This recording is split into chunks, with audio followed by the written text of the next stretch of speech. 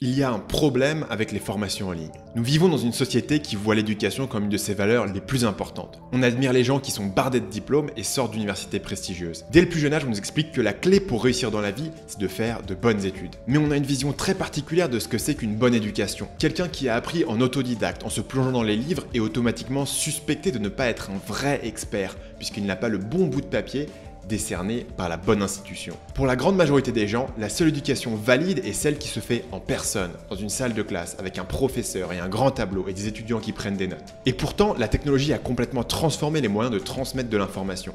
C'est étrange de voir que le système éducatif n'a pas évolué depuis des siècles. Les formations en ligne, ça existe, mais ça reste marginal. Seule une petite partie de la population en a déjà suivi une, et la grande majorité se méfie. C'est un peu comme si le cinéma n'avait jamais vraiment percé et on continue à considérer le théâtre comme mille fois supérieur. Après tout, comment est-ce que je peux être réellement diverti sans avoir les acteurs en chair et en os devant moi? Et oui, la crise du Covid a forcé beaucoup de gens à passer à l'éducation à distance. Mais ça n'a pas forcément amélioré la réputation des formations en ligne, parce qu'un cours sur Zoom, c'est comme du théâtre filmé.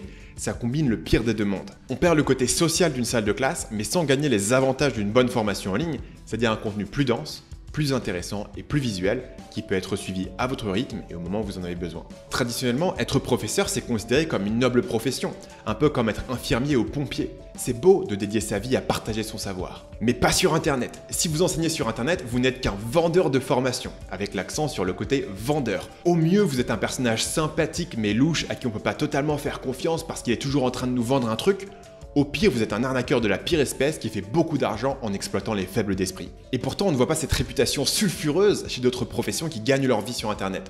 On ne suspecte pas le programmeur moyen d'être plus malhonnête qu'un électricien. On ne traite pas un conducteur Uber plus mal qu'un chauffeur de taxi. Et à l'exception des grands médias, on ne méprise pas les gens qui font des vidéos humoristiques sur Internet, sous prétexte qu'ils ne se produisent pas sur scène devant un public. Donc les formations en ligne ont mauvaise réputation. C'est un problème parce qu'il est clair que le futur de l'éducation va se passer sur Internet. on ne peut pas s'attendre à ce que le gouvernement trouve la solution tout seul à tous les problèmes. Pour réussir sa carrière dans le monde moderne, on a besoin de compétences hautement spécialisées, qui évoluent vite. On peut imaginer que la meilleure manière d'enseigner ces compétences-là, c'est pas des professeurs qui ont consacré leur vie à passer des examens. Il vaudrait mieux des milliers de formateurs individuels qui ouvrent chacun leur petite échoppe et qui vous permettent de choisir chez qui vous voulez être formé. Les meilleurs parmi eux auront un succès monstrueux et les plus nuls n'auront pas de clients et devront fermer boutique pour aller faire autre chose. Mais le but de cette vidéo, c'est pas de pleurnicher que ah là là, nous autres pauvres gentils formateurs, on essaye juste d'aider les gens, mais on se fait faire une mauvaise réputation par les médias traditionnels et par les méchants youtubeurs qui se moquent de nous pour faire du clic. Les critiques que reçoivent les formations en ligne sont normales. D'abord parce que toute innovation est décriée par les pouvoirs en place. Quand l'e-commerce a commencé, tous les médias traditionnels vous disaient que vous aviez 100% de chance de vous faire voler votre carte bleue si vous achetez quelque chose sur internet.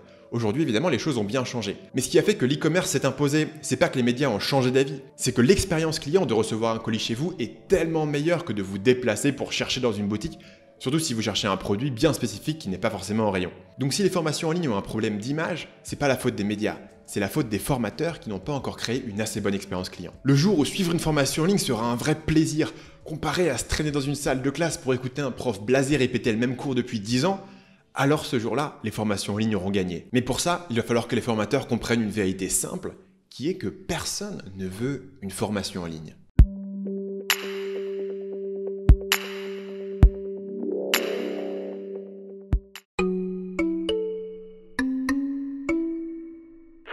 Une personne qui achète une formation en ligne n'est pas là pour passer quelques heures à regarder des vidéos sur son ordinateur, ni même pour se former. Cette personne est là pour obtenir un certain résultat dans sa vie. Ça peut être monter un business ou trouver un nouveau boulot ou perdre du poids ou résoudre un problème de santé ou progresser dans un sport. Mais dans tous les cas, le but final, c'est pas de consommer des vidéos de changer sa vie d'une manière ou d'une autre. La difficulté, c'est que c'est très difficile de changer sa vie. Il faut avoir la motivation d'acheter une formation, puis le temps de suivre le programme, puis la discipline de pratiquer, et finalement la persévérance de continuer à passer à l'action pendant des semaines, voire des mois. Et les gens savent, ils sont pas dupes, ils savent que pour réussir, il leur faut beaucoup plus que simplement des bons conseils.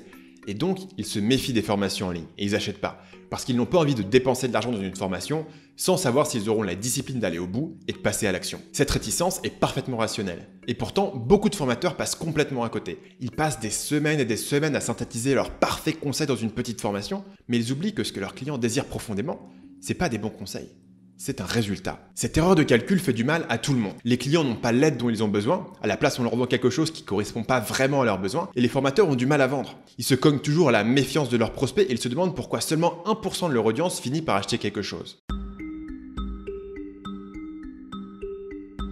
Quand Netflix s'est lancé en 1998, il proposait un service permettant de louer des DVD par la poste. Au fil des années, ils ont construit une infrastructure impressionnante permettant de livrer des DVD du jour au lendemain à travers les États-Unis. C'est un bel accomplissement, mais on peut facilement imaginer comment cette entreprise aurait pu être détruite par Internet. Après tout, le mastodonte de la location de DVD aux États-Unis, qui s'appelait Blockbuster, avait plus de 9000 magasins jusqu'au milieu des années 2000. Aujourd'hui, ils sont en faillite et il ne leur reste plus qu'un seul magasin symbolique. Mais ce qui a sauvé Netflix, c'est qu'ils n'ont jamais perdu de vue que ce que les gens voulaient vraiment, c'était pas de louer des DVD.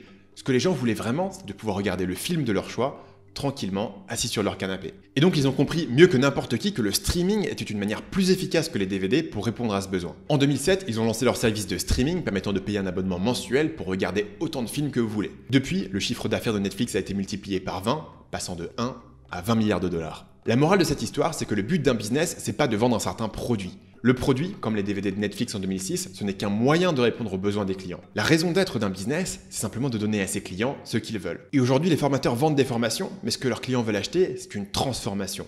Ils veulent changer quelque chose de concret dans leur vie, que ce soit gagner plus d'argent, prendre du muscle, devenir plus populaire. Mais on sait tous que pour changer sa vie, il suffit pas d'avoir des bons conseils. Imaginez que vous êtes formateur. Vous avez résolu un gros problème dans votre vie et vous remarquez que beaucoup d'autres gens ont ce problème et pourraient potentiellement être intéressés par vos conseils. Vous allez rapidement vous rendre compte que si quelqu'un veut changer sa vie en suivant votre formation, il va pas lui suffire de regarder des vidéos. Il va lui falloir passer à l'action, appliquer ce qu'il a appris, échouer, apprendre de ses erreurs, réessayer, réussir et maintenir ses nouvelles habitudes pendant des mois et des mois. Vous, en tant que formateur, vous savez que tout ça est nécessaire. Et vos clients le savent aussi. Mais généralement, le deal, c'est le suivant. Moi, formateur, je vais te donner tous les outils nécessaires pour réussir. Et c'est à toi, client, de te débrouiller pour les appliquer. Et en un sens, c'est logique parce que c'est comme ça que notre système éducatif fonctionne. Il y a un programme généraliste qui s'applique à tout le monde et c'est à chaque élève de se débrouiller pour rentrer dans les cases qui ont été définies. S'il n'y arrive pas, tant pis pour lui, il avait qu'à me s'appliquer. Le problème, c'est que l'expérience client de notre système éducatif est franchement horrible et la plupart des formateurs se lancent avec l'idée de faire mieux. Mais comment? Je pense qu'il y a trois ingrédients essentiels si vous voulez changer la vie d'un client avec une formation en ligne. Toute l'information du monde est inutile si votre client ne la met pas immédiatement en application. Si le client ne passe pas à l'action, il ne peut pas avoir de résultat. Ça c'est évident, mais il y a des subtilités. Par exemple, c'est extrêmement difficile de se souvenir d'une idée qu'on n'a jamais mise en pratique. C'est pour ça que vous pouvez réviser comme un malade pour un examen et même avoir une bonne note, mais deux semaines plus tard, vous avez tout oublié. Donc une bonne formation en ligne devrait être construite comme une suite de petits projets qui vous forcent à chaque étape à appliquer ce que vous avez appris. Non seulement ça vous oblige à vraiment comprendre ce qu'on vous dit et à poser les bonnes questions si vous êtes bloqué, mais en plus ça vous aide à vous souvenir de ce que vous apprenez. Et en bonus, ça vous donne des résultats immédiats, même s'ils sont modestes, qui vous motivent à continuer à avancer. Sur ce point, les formations qui existent aujourd'hui sont assez inégales. Certaines sont très bien structurées comme une suite de projets, d'autres contiennent de super conseils, mais ne forcent pas vraiment le client à passer à l'action assez tôt, et finit par se noyer dans l'information sans comprendre par où commencer. Mais même les formateurs qui comprennent instinctivement l'importance du passage à l'action gagneraient à l'expliciter encore plus. Par exemple, si vous faites une vidéo qui explique les trois étapes pour créer un site web, vous aurez 20% des gens qui sont super bien organisés, qui vont prendre des notes sur les trois étapes et sur les sous-étapes. Et en sortant de la vidéo, vous aurez ces 20% de gens qui savent exactement par où commencer. Mais vous avez 80% des gens qui vont s'apercevoir en terminant la vidéo qu'ils ont oublié quelle était la première étape. Alors ils ont deux choix. Le premier choix, c'est de faire l'effort de revenir en arrière, revoir l'étape numéro 1, mettre la vidéo en pause, aller faire l'étape numéro 1, puis revenir à la vidéo, voir l'étape numéro 2, et ainsi de suite. L'autre possibilité, c'est simplement qu'ils vont choisir la facilité, qu'ils vont passer à la vidéo suivante en se disant, bah, j'y reviendrai plus tard. Et ça, ça nous amène à un problème central qui est que le design est important. Et je ne dis pas design dans le sens, il faut que votre site web soit joli, mais dans le sens,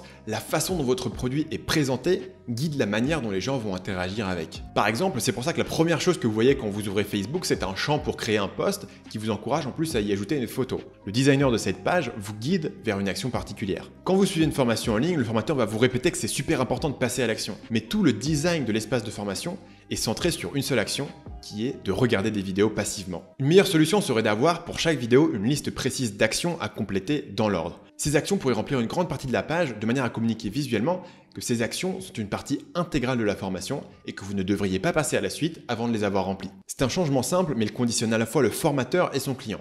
Pour le formateur, ça le force à faire en sorte que sa formation est une suite de petits projets et propose des actions concrètes à chaque étape. Pour le client, ça le force à se bouger les fesses au lieu de regarder les vidéos en mangeant du popcorn comme s'il était devant une espèce de documentaire Netflix qui lui donne seulement l'illusion d'apprendre quelque chose.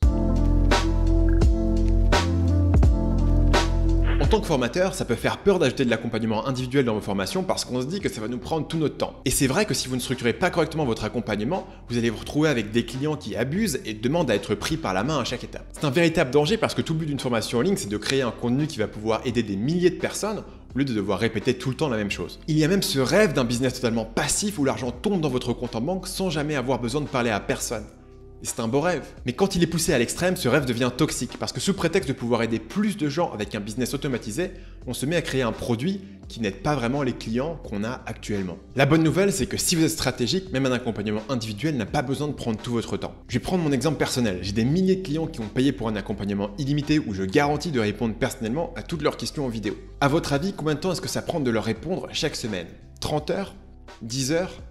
La réponse, c'est environ 3 heures chaque semaine. J'y consacre généralement tous mes mercredis après-midi. Ça reste bien sûr un investissement en temps qui est non négligeable, mais le retour sur cet investissement est excellent. D'abord, quand j'ai introduit cet accompagnement en 2018, mes ventes ont fait plus 339%. Il y avait d'autres facteurs, bien sûr, notamment la croissance de mon audience, mais mon audience a seulement doublé en 2018, quand mes ventes ont fait x4. Le facteur de x2 restant, je l'attribue à l'amélioration de la qualité de mon offre de formation, et en particulier l'accompagnement individuel. Si on fait le calcul, je passe une demi-journée par semaine, disons donc 10% de mon temps de travail, pour potentiellement doubler mes ventes. Donc l'effet de levier est énorme pour mon business, mais aussi pour mes clients, parce qu'une réponse que je peux faire en 5 minutes en vidéo peut parfois sauver un client de plusieurs mois de travail sur un projet inutile. Ou alors une petite idée que je donne en passant peut lui faire gagner des milliers d'euros non seulement mon chiffre d'affaires est potentiellement doublé par mon accompagnement, mais en plus la valeur de ma formation pour mon client est peut-être multipliée par 5 ou par 10. Donc c'est gagnant-gagnant, mais bien sûr il ne faut pas le faire n'importe comment, parce qu'il y a un vrai risque que vous retrouviez à passer votre vie à répondre à des questions. Et ça je l'ai vécu, parce que quand j'ai lancé mon accompagnement, je répondais simplement aux questions des gens par email, et c'était un enfer. J'avais des questions qui arrivaient à toute heure de la journée, donc j'étais perpétuellement en retard sur mes réponses. Si j'avais pas le temps de traiter mes emails pendant quelques jours, les questions s'accumulaient. Et si je partais en vacances pendant une semaine, c'est la fin du monde et tout le monde se plaignait parce que j'avais pas répondu à leur email depuis 9 jours. Pour moi, c'était un stress permanent, donc ça m'étonne pas du tout que la plupart des formateurs évitent à tout prix de promettre un accompagnement individuel. Mais il existe des solutions. Pour moi, tout a changé quand je suis passé à mon système actuel des consultations hebdomadaires. Voilà comment ça fonctionne. Les clients peuvent poser des questions quand ils veulent, chaque mercredi, je réponds à toutes les questions en vidéo, puis on va mettre en ligne toutes ces réponses sur le site de formation. Cette manière de faire a énormément d'avantages. Le premier étant que ça me permet de continuer à répondre personnellement à toutes les questions, alors que je me noyais avec 10 fois moins de clients il y a 4 ans. Ensuite, le stress a complètement disparu. Je n'ai pas à m'inquiéter des questions qui arrivent du jeudi au mardi, puisque j'ai annoncé à l'avance que je répondrai à tout le monde le mercredi. Si je pars en vacances, j'annonce une semaine à l'avance que je serai pas là et qu'on va sauter la session suivante. Pour mes clients, c'est aussi beaucoup plus agréable parce qu'ils n'ont plus à s'inquiéter de savoir si j'ai bien reçu leur mail et quand je vais leur répondre. Ils savent exactement à quelle date ils vont recevoir leur réponse. Ensuite, la qualité des questions a été grandement améliorée. Comme les gens savent qu'ils n'ont qu'une chance par semaine de me poser leurs questions, ils vont réfléchir sérieusement pendant plusieurs jours à ce qui est important pour eux. Alors que quand on le faisait par email en flux tendu, j'avais parfois l'impression que certaines personnes me balançaient toutes les idées qui leur passaient par la tête la qualité de mes réponses est aussi bien meilleure. C'est plus facile de faire des réponses détaillées en vidéo que de taper un long texte dans un email. Et surtout, comme j'ai un créneau dédié sur mon agenda, je suis pleinement concentré pour apporter la meilleure réponse possible. Alors que par email, je répondais souvent en coup de vent pour être débarrassé et passer à la tâche suivante. Finalement, le dernier avantage de ce système est un des plus importants. Toutes ces réponses sont archivées sur le site de formation. À ce stade, j'ai plus de 1000 questions et réponses qui sont disponibles en replay pour mes clients. Pour quelqu'un qui arrive dans ma formation aujourd'hui, c'est une valeur énorme et ça m'évite de répondre plusieurs fois la même question parce que si quelqu'un pose une question à laquelle j'ai déjà répondu, mon équipe lui donne le lien vers la réponse correspondante qui est déjà disponible sur le site. Finalement, on arrive sur ce qui est le seul vrai avantage de l'éducation en présentiel par rapport aux formations en ligne. Je préfère mille fois une vidéo bien produite que je peux regarder quand je veux, plutôt que de voir le prof en chair et en os du fond d'un amphi. Et je peux aussi bien poser mes questions par email qu'en levant la main, et d'ailleurs c'est probablement beaucoup plus facile pour les élèves les plus introvertis. Mais l'éducation à l'ancienne conserve un énorme avantage sur les formations en ligne, et c'est la pression sociale. L'être humain est naturellement un animal social. On imite ce que font ceux qui nous entourent. Si tout le monde autour de vous va en cours, prend des notes et révise pour ses examens, vous allez peut-être vous plaindre vous allez peut-être procrastiner, mais vous allez probablement suivre le mouvement. Par contre, si vous êtes tout seul devant votre ordi, sans avoir personne à qui parler de ce que vous apprenez, ça demandera un effort de volonté titanesque de simplement aller au bout d'une formation. Et ça, les formateurs le savent depuis longtemps, et beaucoup essaient de créer une dynamique positive chez leurs membres mais ça marche pas toujours. Le problème, c'est souvent les outils qui sont utilisés. La communauté est généralement exilée sur une plateforme externe comme un groupe Facebook ou un Discord ou un Slack. Le résultat, c'est que les clients ne sentent pas que la communauté est un ingrédient central de la formation. C'est un petit truc en bonus sur le côté sans trop d'importance. Alors le formateur va faire de son mieux pour encourager les gens à partager dans cette communauté, mais ce que les gens regardent, c'est vos actions, c'est pas vraiment ce que vous dites. Et si vous affirmez que la communauté est importante, mais vous l'avez reléguée à un outil extérieur comme Facebook, vos clients vont en conclure qu'elle n'est pas si importante que ça. Le résultat, c'est un cercle vicieux où la communauté est peu active et elle devient donc un espèce d'espace de support mal structuré où vous espérez que les gens vont s'entraider, mais ça marche pas vraiment parce que les gens avancés y jettent un coup d'œil, voient qu'ils n'ont rien à en tirer et partent pour ne jamais revenir. Heureusement, la solution à ce problème particulier est assez simple. Il faut mettre la communauté au centre même de votre espace de formation. Comme ça, ça communique à vos clients que cette communauté est une partie essentielle de la formation qu'ils ont achetée avec leur argent durement gagné, et donc qu'ils passent à côté de quelque chose d'important s'ils ne participent pas. Pour être transparent avec vous, j'ai fait toutes ces erreurs. J'ai fait des formations qui étaient très pointues, mais difficiles à mettre en pratique. J'ai fait une offre d'accompagnement qui m'a pris tout mon temps. J'ai eu un groupe Facebook qui était plus une distraction qu'une vraie communauté. Et à chaque fois, j'ai pu voir en quoi ces erreurs faisaient du mal à mes clients et à mon business. Aujourd'hui, j'ai fait des gros progrès, mais je suis encore loin d'être parfait. Donc le but de cette vidéo, c'est pas de vous faire la morale, c'est de mettre le doigt sur une évidence qu'on a tendance à oublier, qui est que c'est plus facile de gagner de l'argent en vendant un meilleur produit qu'un produit qui aide pas vraiment les gens. Et ce, évidemment, surtout si vous voulez survivre sur le long terme. Il y a une célèbre citation qui dit l'information veut être libre. Et donc si tout ce que vous vendez c'est de l'information, il suffit qu'un concurrent suive votre formation et reformule ce que vous dites dans son propre produit pour complètement copier-coller votre business. Et c'est pour ça que vendre seulement de l'information, c'est pas une bonne idée sur le long terme. Mais si vous avez un programme prouvé qui donne de bons résultats, plus un accompagnement solide qui donne confiance en eux à vos clients, plus une communauté dynamique et motivante, tout ça c'est quasiment impossible à recopier vous devenez irremplaçable parce que vous vendez quelque chose de beaucoup plus profond que de l'information. Vous vendez une transformation. donc la question est la suivante. Si cette manière de faire est meilleure pour les clients et meilleure pour les formateurs, pourquoi est-ce que tout le monde ne le fait pas? Si vous êtes un formateur indépendant aujourd'hui, il y a tout un tas d'outils que vous pouvez utiliser pour héberger vos formations mais tous sont conçus avec l'idée que votre produit est avant tout une série de vidéos. Je voulais avoir une vision la plus complète possible de ce que les formateurs utilisent aujourd'hui, alors j'ai fait un sondage auprès de 291 formateurs indépendants. J'ai découvert trois catégories d'outils. La première catégorie, c'est les outils pour débutants. Ce sont des outils qui sont positionnés autour de l'idée que n'importe qui peut créer sa propre formation en ligne, même si vous savez à peine utiliser un ordinateur. Généralement, on a sur la page de vente un témoignage de Marie-Hélène, fleuriste, qui a réussi à créer sa formation en trois clics, alors qu'elle n'avait jamais créé de site web auparavant. Ces outils sont admirables dans la simplicité de leur interface, et ils remplissent vraiment leurs promesses. C'est vraiment devenu possible pour n'importe qui de mettre sa formation en ligne sans être un pro de l'informatique. Mais pour quelqu'un qui gagne sa vie à plein temps en vendant des formations en ligne, c'est aussi des outils qui atteignent assez vite leurs limites en termes d'accompagnement et de communauté. C'est normal, un même outil peut pas être bon partout et ces outils sont avant tout conçus pour être accessibles aux débutants. Et d'ailleurs, niveau marketing, c'est un bon positionnement parce que les débutants représentent le gros du marché. L'autre catégorie qui est très représentée, c'est les outils tout en un. Ces outils qui combinent un paquet de fonctions les pages de capture, l'email marketing, le système de paiement et bien sûr l'hébergement de vos formations. L'avantage c'est de n'avoir besoin que d'un seul outil pour gérer plusieurs choses. Le désavantage c'est que la qualité des différentes pièces de ce puzzle peut être inégale. Généralement, c'est des outils qui sont vendus sur la promesse de générer un maximum d'argent, et donc les développeurs se concentrent majoritairement sur les fonctions marketing, comme les webinaires et les upsells. L'espace de formation, c'est pas une grande priorité pour ces outils, et donc il est généralement fonctionnel, mais basique. Mais alors on peut se demander, parmi ces deux options, que font les gros formateurs, ceux qui génèrent des millions d'euros par an? La réponse c'est l'option C. Cette option C, c'est les outils sur mesure, parce qu'au-delà d'un certain niveau, la plupart des formateurs se rendent compte que l'expérience client est une des clés pour continuer à faire grossir leur business. Mais comme les outils disponibles sur le marché ont leurs limitations, ils font faire du sur-mesure. Souvent, ça veut dire recruter un développeur et passer des mois à développer sa propre plateforme à partir de zéro. Évidemment, ça coûte cher, et si vous ne savez pas vous-même coder, ça peut être terrifiant de choisir le mauvais développeur et de vous lancer dans un projet qui va prendre beaucoup plus de temps et coûter beaucoup plus cher que prévu. D'autres personnes qui sont plus à l'aise au niveau technique mais qui ont moins de budget vont choisir de bricoler quelque chose à partir d'outils open source. C'est généralement centré sur une installation WordPress à laquelle on soude 4 ou 5 plugins pour essayer de gérer l'accès des membres, la communauté et l'accompagnement. Après, on prie pour que ça marche sans trop de bugs et que les mises à jour permanentes de WordPress ne fassent pas exploser cette usine à gaz. Et d'ailleurs, quand tout fonctionne bien, ces installations bricolées peuvent souvent donner un assez bon résultat.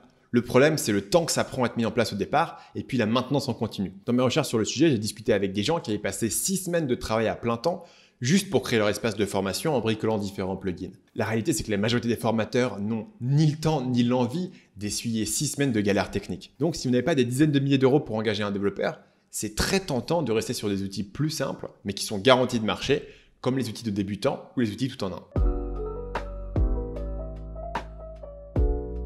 Vous vous demandez peut-être pourquoi je vous raconte tout ça. Qu'est-ce que ça peut vous faire si le marché de la formation en ligne n'a pas encore les bons outils? Rassurez-vous, j'ai une bonne raison de vous parler de ce sujet aujourd'hui. Sur cette chaîne, je fais des analyses marketing de business à succès. Et généralement, la morale de l'histoire, c'est que ces business ont réussi parce qu'ils ont identifié un besoin et qu'ils y ont apporté une meilleure solution que ce qui existait déjà. Mais la question que je reçois le plus souvent, c'est comment trouver une bonne idée? Autrement dit, comment identifier un besoin et savoir que je peux faire mieux? Le problème, c'est que c'est facile d'identifier une bonne idée a posteriori, quand l'entreprise a déjà réussi. Mais quand vous êtes sur le terrain, avec un début d'idée, mais sans aucune certitude, à quoi est-ce que ça ressemble?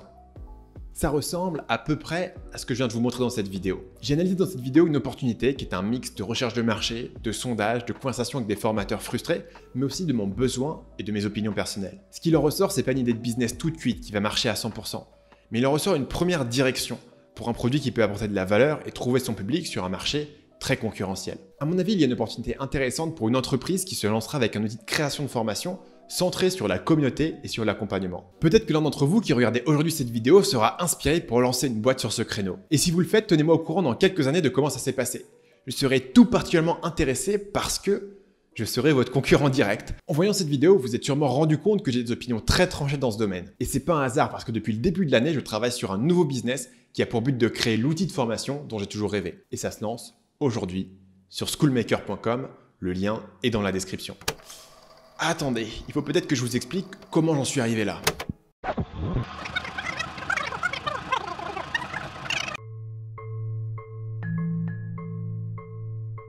Quand j'ai lancé Marketing Mania, je ne voulais pas faire une énième formation en ligne sur comment gagner de l'argent sur Internet. D'ailleurs, au départ, je n'étais pas du tout parti pour faire des formations. J'ai commencé en montant en agence de marketing spécialisée dans la pub Facebook. C'était en 2015, bien avant de me lancer sur YouTube. Et c'est pour promouvoir cette agence que j'ai créé ma première formation gratuite que j'avais sobrement appelée le guide de la pub Facebook. Suite à ça, il s'est passé deux choses. D'abord, j'ai attiré pas mal d'audience avec ma formation gratuite qui a commencé à me réclamer plus de contenu. Et ensuite, je me suis pris au jeu de transmettre mes connaissances dans des formations. Alors en 2016, j'ai commencé à faire des formations sur des sujets marketing très pointus. Ma première formation payante était sur ma spécialité, le copywriting. À l'époque, comme aujourd'hui, il y avait un de vendeurs de rêves qui sévissaient sur Internet. Et j'avais peur d'être mis dans le lot. Alors j'ai décidé dès le départ de faire du haut de gamme, faire les formations les plus approfondies possibles, avec le meilleur accompagnement possible. Et rapidement, le troisième ingrédient du puzzle s'est mis en place parce que mes clients m'ont demandé de rajouter une communauté. Ce que j'ai fait au départ avec un groupe Facebook, mais comme la qualité des conversations était médiocre et ne renforçait pas la valeur de mes produits, j'ai fini par remplacer ce groupe Facebook par mon propre forum privé. Et j'ai remarqué qu'à chaque fois que j'améliorais la qualité de mes formations, de mon accompagnement ou de mes produits,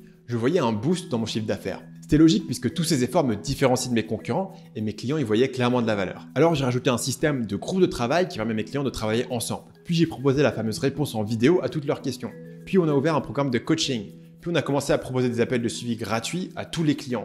Puis on a commencé à relier à nos clients les demandes des entreprises qui nous contactent en cherchant des prestataires. Avant le Covid, on a même eu plusieurs rencontres en personne organisées par les membres de la communauté. Mais le côté obscur de tout ça, c'était l'aspect technique. Mon système de formation était devenu un Frankenstein d'outils et de fonctions. À certains endroits, ça dégradait l'expérience client. Par exemple, mon forum n'était pas pleinement connecté à mon espace de formation, donc il fallait se créer un identifiant et un mot de passe séparés pour accéder à la communauté. À d'autres endroits, ça demandait juste beaucoup de gestion manuelle. Par exemple, si un client demandait un remboursement, il fallait manuellement le retirer du forum parce que tout n'était pas correctement connecté. Mais surtout, j'étais frustré de ne pas pouvoir aller plus loin dans ce que je proposais à mes clients. Mon offre était solide, mais elle avait plafonné et les complications techniques étaient un obstacle permanent. Et donc j'ai commencé à comprendre pourquoi la plupart des formateurs ne s'embêtent pas avec tout ça. C'est simplement trop complexe à gérer et j'ai dû recruter une équipe dédiée pour maintenir tout ce système sur les rails. C'est aux alentours de cette période que j'ai rencontré Pierre qui est aujourd'hui mon cofondateur sur Schoolmaker, ce nouveau projet. Pierre est un client de longue date de Marketing Mania et un excellent développeur avec des années d'expérience sur des gros projets. Mais ce qui m'a le plus marqué, c'est qu'il était indépendamment arrivé aux mêmes conclusions que moi sur la question des formations en ligne. Parce que Pierre a co-créé une formation pour apprendre aux développeurs à passer en freelance